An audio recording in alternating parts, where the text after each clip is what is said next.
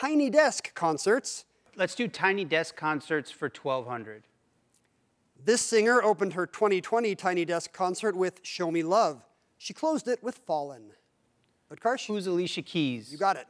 Let's do same Tiny Desk concerts for 1500. For a Tiny Desk concert he did with Sting, this It Wasn't Me singer proudly sang, I'm a Jamaican in New York. But Utkarsh? Who is Shaggy? 1500 more for you. Tiny Desk concerts for 900. He sang hits like Watermelon Sugar for his Tiny Desk concert. He also called his sweater a jumper. Aw, how British.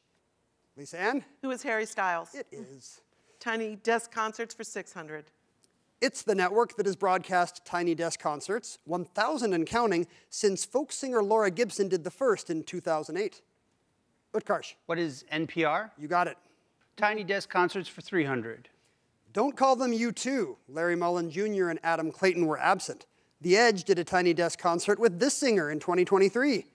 Lisa Ann? Who is Bono? Yes, it is. For more great Jeopardy videos, Hit the subscribe button below.